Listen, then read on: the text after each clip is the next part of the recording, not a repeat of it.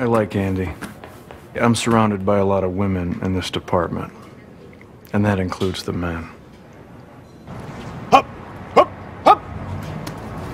Peyton Manning reading the defense. Reggie Wayne, post corner.